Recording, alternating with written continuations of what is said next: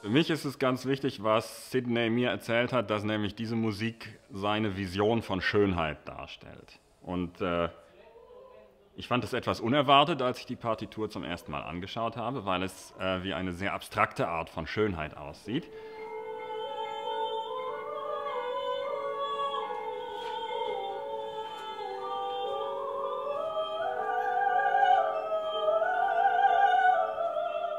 Und es lohnt sich immer sehr genau hinzuhören und es ist über 80 Minuten sehr, sehr abwechslungsreiche und spannende Musik.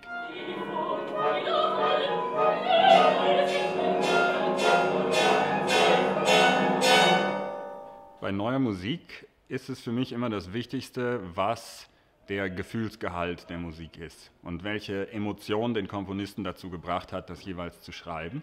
Ich versuche möglichst genau äh, den Angaben des Komponisten zu folgen und dann klare Klangfarben und möglichst expressive Melodien zu finden und denen möglichst nachzuspüren.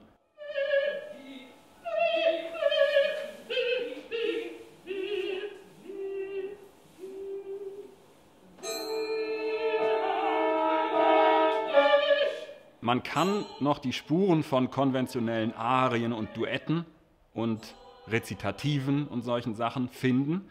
Und interessanterweise passieren diese Sachen manchmal gleichzeitig.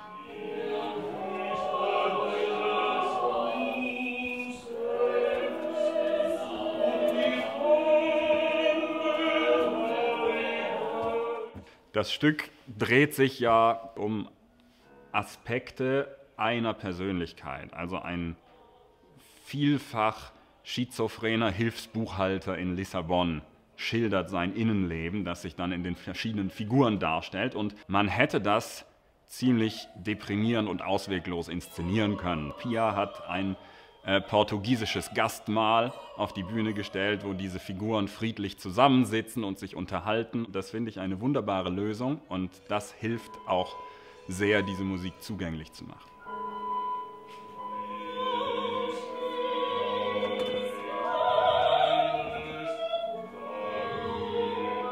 The most interesting feeling for me is a contradiction between something which is very abstractive, very poetic, with something which is taken from the real life. So our situation on the stage is very realistic and you try to find a very hidden sense in it, which is this source of disquiet, uh, which is in the title of the book, of Pessoa book.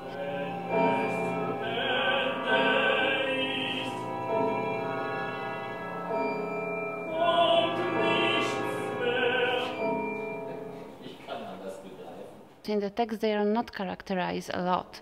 They have only their names. All reality, all characters, or psychology is created by me and invented by me, put it into this opera.